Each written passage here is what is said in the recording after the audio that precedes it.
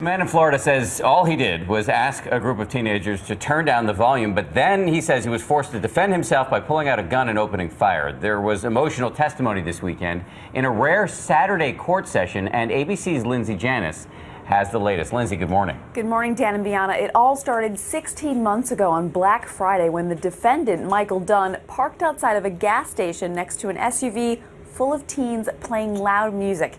He asked them to turn it down. They said they did, but when they turned it back up, now one of them is dead. According to prosecutors, 17 year old Jordan Davis, seen here in this exclusive YouTube video, was unarmed when they say he was murdered by 47 year old Michael Dunn for playing loud music. A detective testifying Saturday he found no weapons inside the parked SUV where Davis and three of his friends sat outside a Jacksonville gas station. Did you see any evidence in any of these locations of weapons? No, I did not. Lawyers for Dunn say he was defending himself after he heard threats and saw a gun inside the SUV. In an emotional testimony, Dunn's fiance, seen in this surveillance footage inside the gas station when the shots rang out, Oh my God, somebody's shooting! describing that fateful night. What did the defendant say? I hate that thug music. On Friday, Davis's friends answering questions too. Isn't it true that the music was so loud that the windows and mirrors were vibrating in that SUV? Yes, sir.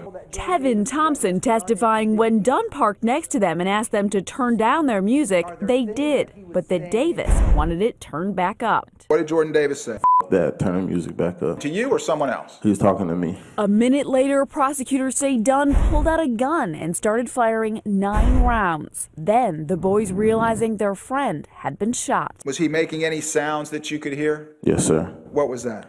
Like uh, gasping for air. In the courtroom, Davis's parents wiping away tears, reliving their nightmare.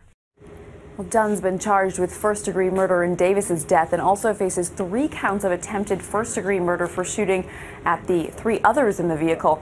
Dan and Bianna, this case has been compared to the Trayvon Martin case. It also happens to be the same prosecutor, but hmm. I spoke to ABC's legal affairs anchor Dan Abrams. He says there's a key difference here. There was no question that there was an altercation, so it may be hard to prove self defense. It also happened in the same state as well. Linzie, thank you.